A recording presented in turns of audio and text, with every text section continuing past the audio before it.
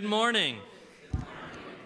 I hope that you all are doing well this morning. It's so glad to I'm so glad to be here and worship with you all. My name is Cameron Miller and I'm the pastor here at Silver Lake United Methodist Church.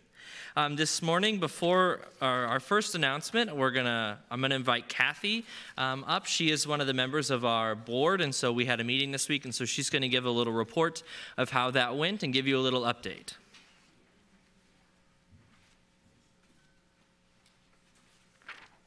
Good morning. So, we had a full agenda for our board meeting this last week. Um, we started with a fabulous dinner that was cooked by Pastor Cameron. He made lasagna, garlic bread, and salad and dessert.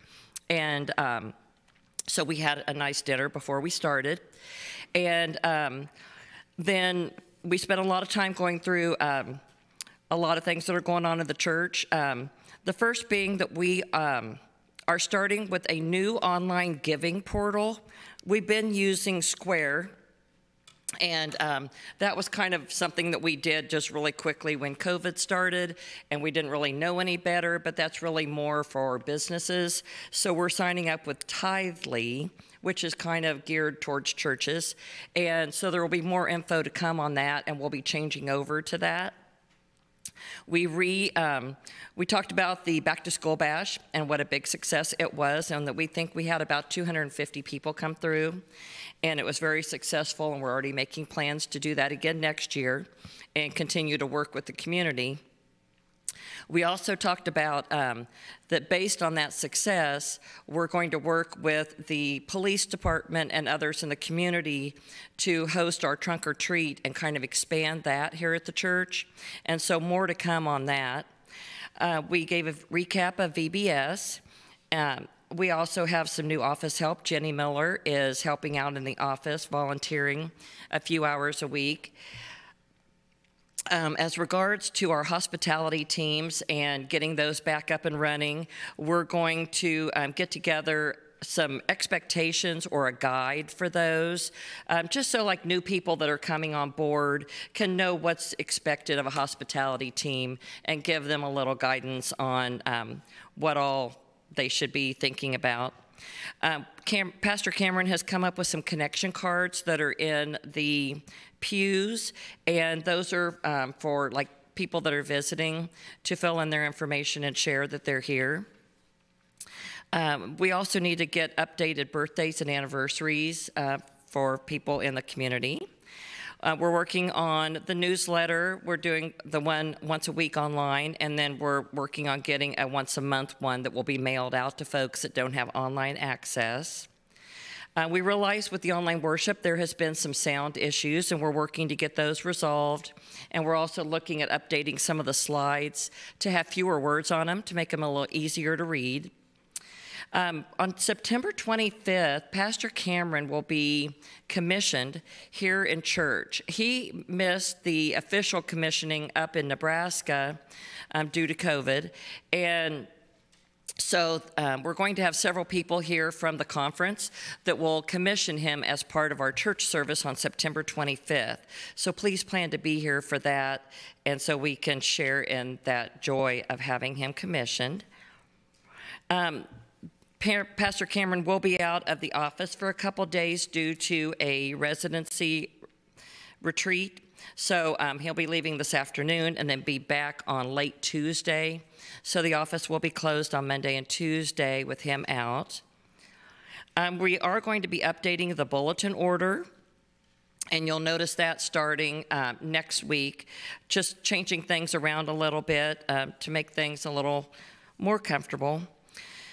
Uh, I gave the financial report, and um, year to date, we have had income of $81,161 as of the end of July, and then we had spent 88,671. We have been trying very hard to keep our expenses in check based on the you know, to try and keep it in relation to our givings. Uh, mission shares, we have paid, as of the end of July, $7,753 of our commitment of 15,896. So that is 48% um, of that year to date. And what we pay on that, we pay in 10% of all of our income received each month. And so right now we're at, you know, 48% of our income for the year that we've been able to pay towards mission shares. So hopefully that'll pick up in the second half of the year because our goal is always to make 100% of our mission shares. Um, we talked about um, several things around the buildings that need to be addressed. We are going to be adding um, signs for a couple of additional handicap spaces. And then we, um, an, we have an ongoing discussion about church lighting. We'd like to update all of these lights to LED to save on energy costs, and then work on like the ones in the fellowship hall to get those updated as well. So that's an ongoing thing that we um, continue to talk about, and we need to get some of these bulbs out so we can figure out what kind of bulb they are so we know what to buy to replace them with. Um, the preschool has started and it's going well. Um, they have been applying for some grants that will allow them some funds to do things for their preschool, one of which is going to be updating and adding some play equipment out here in the um, area out here. And um, so, you know, keep an eye out that there will be some uh, changes going on out there and other little things that they're going to be able to do with their grant money um, that will benefit us in the long run, which is really, really nice. Um, the transition team, we need to meet at least one more time, and we have one more small group, which is going to be at Becky Lindstrom's house on the 7th. Um, please sign up for that. That's our last one, and the others have gone really well. And just, you know, it's a really nice casual time to get to know more about Pastor Cameron and for him to get to know you guys. And um, our next board meeting is September 21st at 6 at 6:30. And so we had a very good meeting. And then just real quick before we move on, I've got two other quick announcements. We are having a Harvest Home meeting today after church in the fellowship hall after snack time. And then this Thursday is Topeka North Outreach. We're starting back up for the year with our back snack program. And so Thursday at 6, we'll be meeting at Indian Creek Elementary, which is at 43rd and Indian Creek, from 6 to 7.30 to fill backpacks for the kids for meals for the weekend. Thank you.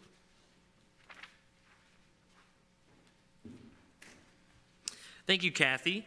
Um, I'm going to go ahead and follow up on some of the things she said and make a couple more announcements, and then I'll open up the floor.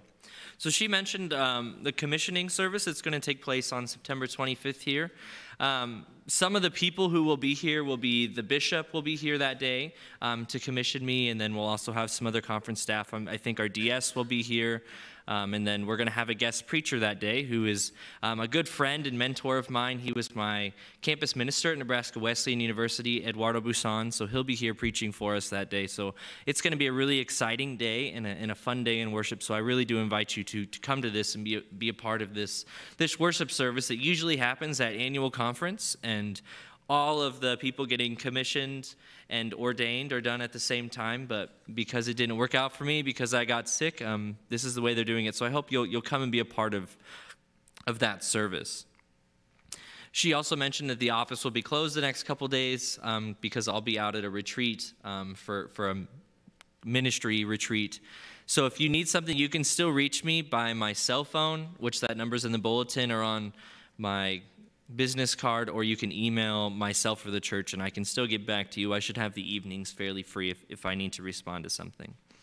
Then the last one of an update I have. So if you did notice on your way in the new lock this morning, um, it has new combinations. So if you had a combination and need one to get into the church, please contact me and we'll work at getting those set up to where you can get into the building still with that combination. And so it'll just have to change a little bit. Our old combos were four numbers and this these have a minimum of six, so we just have to change those a little bit. So please contact me if you were someone that had um, a number and needs one, and we'll we'll talk about how to get that set up.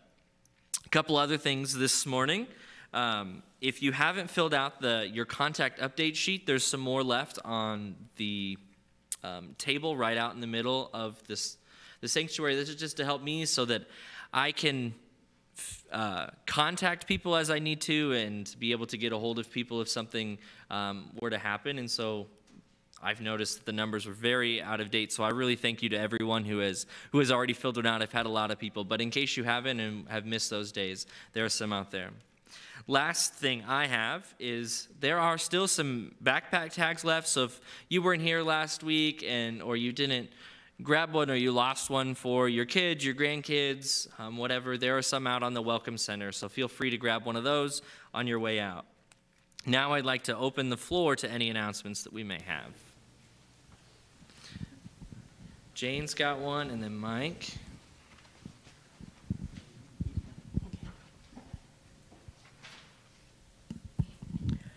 Good morning. And this is really not quite an announcement, I guess, but a, more of a thank you to what Kathy said during her announcements.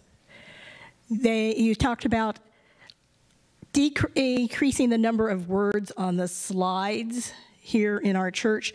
Um, that is one of the biggest problems you're going to find as a congregation ages. I hate to say that word about us. I'm sorry, I'm not looking forward to my next birthday. Uh, but it is a reality as we get to 55, 60, we start losing our ability to see levels of light. And so having higher contrast on church screens is a very important do. And I'm happy to see our church is addressing the issue. Thank you. And then Mike had an announcement.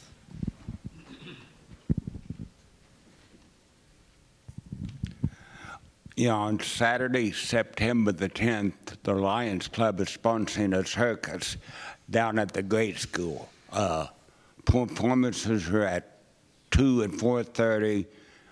Uh, you can get tickets at the arenas or the library or Rain Kellner. I have tickets, so okay. Wonderful. Do we have other announcements this morning? Jackson's got one. So last night we had the Relay for Life over at the school, and I think we had a pretty good turnout. I'm not quite sure how much money we made, but I think we did, did make quite a bit of money. So thank you for anyone who came. Big thank you to Pastor Cameron and Pat who let us use Fellowship Hall for meetings over the summer. So. Yeah, I know when I looked yesterday before the event started, they had raised $8,600, um, and their goal was 10000 So uh, my guess is that um, through their fundraising last night, they were able to meet their goal, but we'll know more uh, hopefully this week and be able to share some of that more specific information with you next week. But thank you all for, for your support for that as well. Are there other announcements? If not, let us begin, or let us say happy birthday first. Um, Ron Workman's birthday is the third, so we wish Ron a happy birthday this week. Now, I invite us to our opening prayer. Holy and gracious Lord, we are so grateful for this time to gather together today, to be in your presence and be in the presence of our, our friends and our family and, and our Christian brothers and sisters. We just ask that today you open our hearts to hear your words and hear the ways that you are moving and allow us to join joyfully in worship and worship your name. It is in your gracious name that we pray. Amen. I invite you now to rise as you are able, in body or spirit, to join in our opening song, Oh, for a Thousand Tongues to Sing.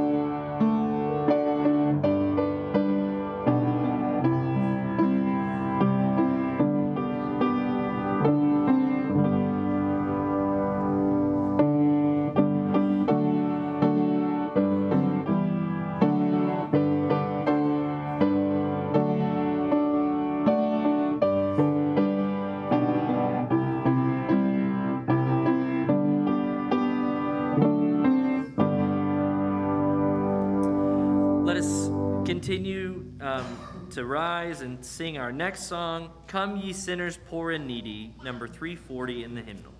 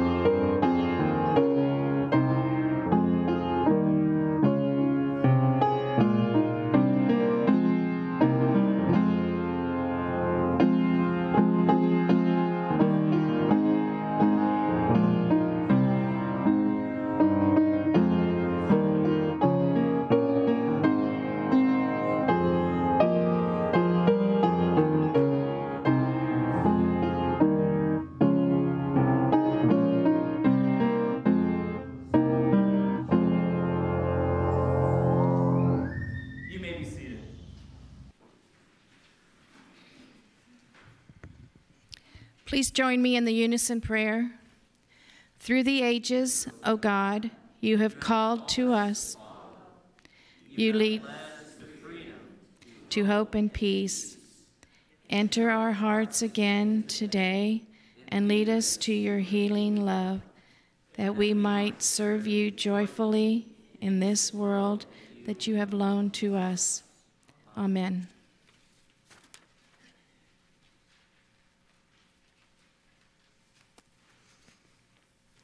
We come now to our time of, of prayer for this community and all uh, of those that are affected or that we know of in our hearts. And so we want to lift up prayers for Relay for Life, and we just pray for um, the joy of a successful event and for the ability for this community to come and to put our our resources, our time, our talents, and our thoughts around cancer research. And so we just continue to, to lift up the wonderful work that will be done through that relay.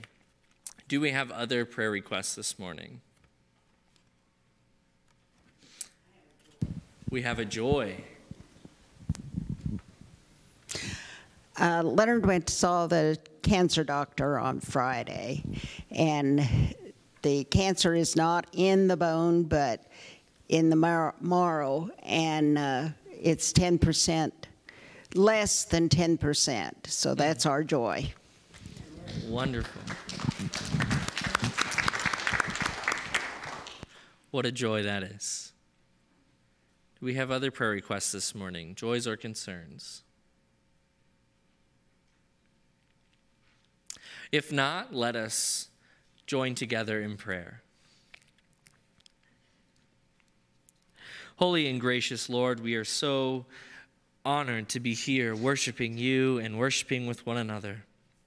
We have such a unique opportunity to join together with those around us and ask for your prayers and lift up to you the prayers that are on our hearts, our minds, the prayers, the joys, and the concerns that, that give us life and that give us despair. We take a moment now to lift up to you, Lord, the, the people that are on our hearts this morning, those that, that we know of prayer requests for, and those who just are on our hearts.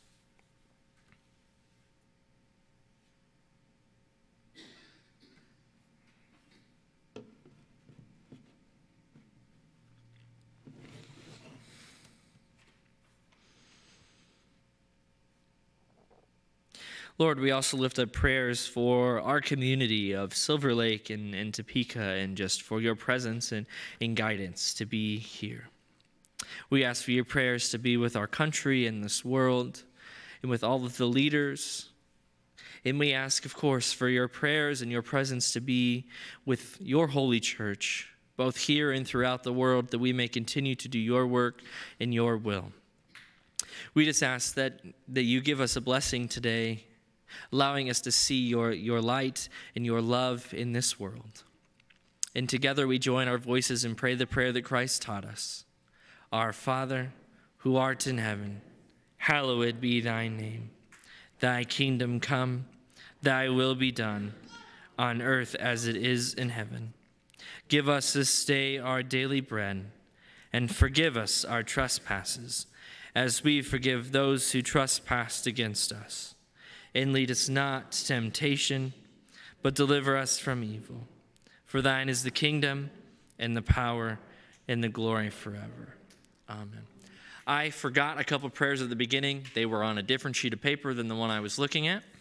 Um, so, one, uh, uh, Kathy is asking prayers for her uh, daughter-in-law's mother who is has stage three Hodgkin's lymphoma and it's not looking super well. So we lift up um, prayers for her today. I also uh, want to thank you all for your prayers for Carissa. Um, she's feeling better uh, this week, and so she's back to church today. She's still a little tired, but she's feeling a lot better. So I thank you all for that. Um, and so we just lift these up to the Lord. Um, as I say, uh, Lord, in your mercy, please respond. Hear our prayers. Lord, in your mercy, hear our prayers. Amen. Let us now hear our scripture reading this morning.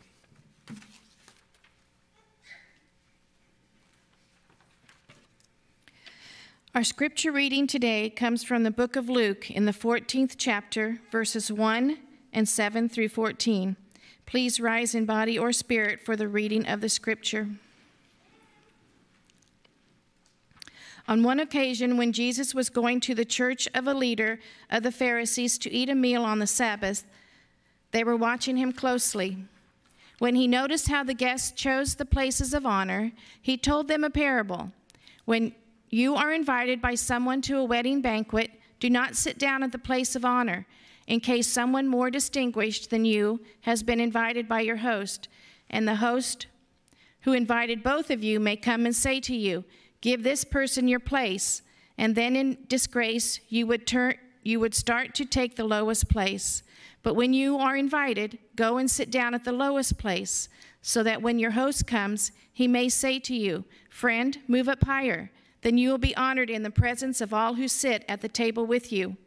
For all who exalt themselves will be humbled, and those who humble themselves will be exalted. He said also to the one who had invited him, When you give a luncheon or a dinner, do not invite your friends or your brothers and sisters or your relatives or rich neighbors, in case they in may invite you in return, and you would be repaid. But when you give a banquet, invite the poor, the crippled, the lame, and the blind, and you will be blessed because they cannot repay you, for you will be repaid at the resurrection of the righteous. May God add a blessing and a reading and a hearing and understanding to God's word. Amen. I forgot to put that in, in the bulletin. That's why she didn't say that. So that's my fault. You may be seated. I want to invite now our children to go out for Sunday school. I don't know who our teacher is this morning, um, if we have one. Um, but uh, do we have any kids that were wanting to go to Sunday school? That may also solve the problem there. Okay, um, that's all right. If not, if you would like, uh, the nursery is open if, if that would be better for you. So I got married about just over three years ago now. One of the things we had to figure out was seating. Some of this is easier to figure out than others. You have your head table with the bridal party, um, and given that we were the first of our friends to get married, it was pretty easy to figure out our bridal party. So we didn't have to worry about significant others or anything up there. It was strictly who was our bridal party was up at the table. And so that made that decision pretty easy. You know, then there's the order of the bridal party, which, you know, that's a little more thinking of who's going to be, uh, for me, the best man, who's going to be the groomsman, who's going to stand in, in what order. But then that usually translates to how they sit here. So once you get that figured out once, it kind of comes and matches up. And then as, as you sit down, you usually sit with the best man and maid of honor closest to the couple and move outward from there. But then, then the questions are what happens outside of this? Where do the rest of the guests sit? Guests sit? Where did this, the family sit? Where do the friends sit? Where do the other relatives sit? It's, it's a whole process. So there's kind of two ways that seating can be done at a wedding. There's reserved seating and open seating. So, reserved seating, there's a lot more to think about with reserved seating. Um, you have to come up with place cards and you put, or you just decide who's going to sit at what table. There's a lot to think about. Who should be at the same table? Who shouldn't be at the same table? Who do you think will want to sit with someone? Do you put all the single people at one table? What do you do with the kids? It's, it's a whole lot of questions. And where should people be seating? Family, they're usually closer to the head table, so where do we put them in relative? And then how do we work out from our immediate families to your extended families and so on? And who gets to sit closest and who's going to be farther away? I went to a wedding earlier this summer where there was reserved tables. It wasn't a nameplate on every space, but there was a you were assigned a table number. So upon entry, uh, I found my name on the table list, and mine was table 12 of 12, which was fine. It was the table I was at was all people I had gone to college with. It was a college friend of mine who was getting married. It was no problem to me to be in the back corner at a table with my friends. I was there to, to celebrate uh, my friend's uh, marriage, and so that's why I was there. But I'm sure that there were people who it mattered where they sat at that wedding. And then we have kind of the other way open seating. So, this is how we did our wedding, except for a few family tables we had reserved up front. So, when you do this, it's just kind of first come, first serve. So, this doesn't mean that everyone will get to sit where they want to sit, everyone will get to sit as close or as far away as they would like. But everyone's going to get a seat, and they can choose who they sit by, who they don't sit by, and we don't have to make those decisions ourselves. Because ultimately, a wedding is about celebrating the union of two people and covenanting a relationship between God and the couple. And so we want to share this experience with those who we love, so we invite them. And so here's a picture of one of the things we did is as we started the, the dance, we were able to get everyone or pretty much everyone out onto the dance floor and get a picture taken. So we also have a little memory of who was at our wedding. But this is who we invited. We did this to invite our friends and family to celebrate with us, to celebrate this joyous day. The parable that we heard from Jesus this morning is also about a wedding. And Jesus gives us two different sayings in this parable. He has one directed towards the guest in the parable, and another saying directed towards the host. To the guest, Jesus says, Be humble and take the last seat, as you will not be disgraced that way. But you can always move higher and be filled with joy when you are asked to move rather than be disgraced. But why does sitting in a certain position matter?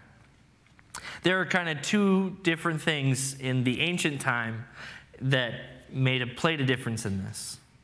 At ancient meals, specifically at weddings, usually the, the more um, distinguished spot you had, the better food you had, the better drink you had. So the people closest to the bride and groom and their family would have the best food prepared for them, the best wine that was available, the best seating. And as you move farther away, the food would become a little less good and a little less good. The wine, a little less good and a little less good. And so not only was there just, you know, a reason of saying, well, I'd like to be closer to them, there's also the farther up I get, the better food I get. So there was a want to be. So being lower uh, in the food, in, in the seating, meant you had lower grade food and you weren't going to get the same things as the people at the head of the table. Then there's also a sense of superiority. If we are willing to place ourselves ahead of another person, we are saying that in some way, when we're, we're setting up on, on a range of from one side to another, that we have more than this other person, that we're able to place ourselves above this other person in seating in some way. And this is defeating the message that Jesus is asking of us. Jesus is saying to humble oneself to others, to put, to put others before yourself just as Jesus did. If we think to the Last Supper in John's Gospel, John brings up Jesus washing the disciples' feet. This act was that reserved for the lowest of the servants in the house. It was not an act that any of the family members would do or that the, the servants who had been there a long time would do. It was the servants who were new, the servants who were the lowest of the servants. You're touching someone's dirty feet and getting them clean as they come in so that then they can have a party. It's not a glorious job. I know I don't necessarily want to every time go when someone comes into my house wash their feet. I don't know where they've been. But that was what they did because you know they were walking around with in sandals and dirt and so feet were very dirty. But this idea of washing feet, Jesus taking his place of being God on earth, God incarnate, and coming down and taking the place of the lowliest of the servants, is a true example of what Jesus is talking about in this passage. To not take the seat up at the top, but to take the lowest seat. To take the lowest seat at the table, put all others before yourself, and serve them. And Jesus did this in many other ways as, as he ate with the poor and the sick. He spent his time with not the righteous of society, but with the outcast. Due to his, his place of power, he, he gave that up so that those without it could have voice when they were voiceless. They could have a place at a table where no one had welcomed them before. In all of the things that Jesus did, Jesus placed himself before or after others, and always placed others before himself. He ends this first part of the story with the whole meaning of what it is. In Luke 14 11, he says, For all who exalt themselves will be humbled, and those who humble themselves will be exalted. This is the whole message that Jesus was trying to say in these first few verses here. When we exalt ourselves above, above others, we are placing ourselves above others because of something we've determined in our minds. And we lose sight of our common humanity and the fact that all of us are called very good in the eyes of God. But when we humble ourselves, we live out Jesus' calling to place ourselves last, to place others first, and to always be serving. Then, after Jesus addressed the guest, he addressed the host. This story is much the same, but now it's to the host of the party, Do not invite your friends, your brothers and sisters, your relatives, or your rich neighbors, for you may be repaid. But do invite the poor, the crippled, the lame, the blind, for they cannot repay you. What Jesus is saying here is we are not to expect anything in return for the generosity of people coming to these events. You think again back to one of our, our modern weddings. Those you invite, you kind of expect that they're going to give you a gift. That they're going to come, whether it's, it's $5 in a card or it's a brand new set of pots and pans. Somewhere, the person coming, there's a little bit of an expectation that um, they or most of them will get you a gift. Those in the wedding party, there's a little bit of expectation that, well, if they were in my wedding party, they'll invite me to be in their wedding party. While these may not be outright thoughts that we have, they're inside these the, the kind of unspoken rules of a wedding. We are to provide a place for those who do not have a place, and that is what Jesus is telling us. To love others and bring about God's kingdom. It's not about interacting with those who are like us and those who we know well all the time. It's about opening our community to expand beyond our immediate circle and open it up to all of God's creation and all of God's children. To those who are often seen by, by us as outsiders or the people who we may turn our head away from as we see them on the street corner or as we see we drive by that house that doesn't look like it's in very good shape. It's about welcoming them in and expecting nothing in return. To have an event and to have places whereas we invite people to come and stay, we're doing it out of the true goodness of our heart, out of our humbleness, to give them a place to be, to have fellowship, to create friends, to have a meal, to worship, to do so many different things. Jesus is, is not telling us that we should never celebrate with our family and friends, but there are, there are places for that, and then there are places where we have to expand outside of that. If we get locked in within our circle, even if it's just the circle of our church, we will never grow. We will never be able to truly live out the calling that Jesus has for us the calling to make disciples of all nations, of all people, of all races, of all genders. To break in, to bring in people into this fellowship, into this Christian community, this Christian family of brother and sisterhood. If we stop at our community here, at our friends who sit to the left, to the right, to the front, behind us, we lose sight of bringing in the other people that God has also called very good the other people who God has given his grace so freely to, who God loves, who we are to love. And so when we do this, we create a place at the table for those people. We give voice to the voiceless and we provide a place for the outcasts. So, how can we invite the societal outcasts to our party? How can we make this place not only for our family and friends, but for those we wouldn't normally interact with. Jesus is not the leader of an exclusive club that only those on the list can get into. Jesus is the leader of a group open to all, where everyone receives God, God's grace, and if we accept it or not. And all are children of God. So for us, we must humble ourselves to create space for those whose voices and presence have been rejected by our society. And we do that by living out what Jesus is calling us to do here to humble ourselves, to place ourselves last and all others before us, and to not only invite our friends and family, but to invite those who do not normally get an invitation. Amen. We continue now with our offering. And so, do we have ushers this morning?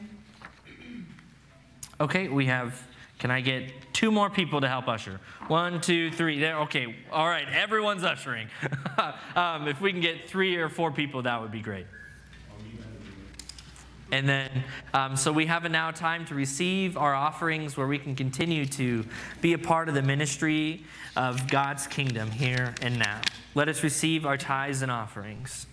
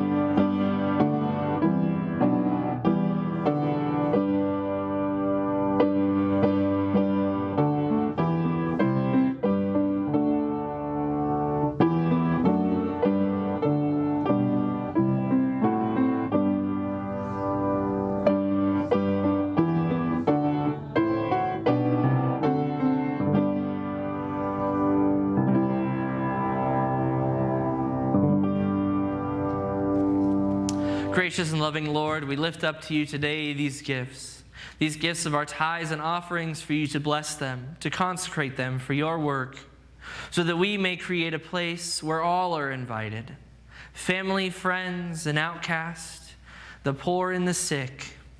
All are invited to participate in your kingdom. Help us to do your work, and we just pray your blessing upon these gifts and upon us. It is in your holy, gracious, and loving name that we pray. Amen.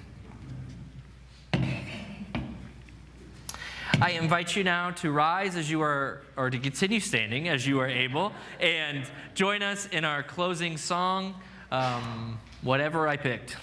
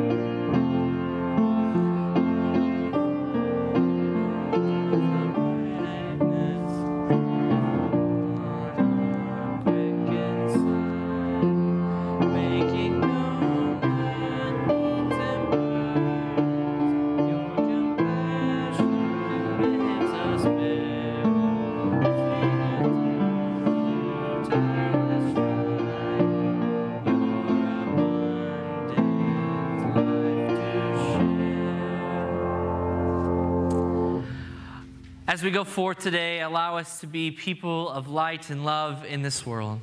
Allow us to be people who go forth seeking to give voice to the voiceless and a place to those without one at our table. The service is ended. You may go in peace. Thanks be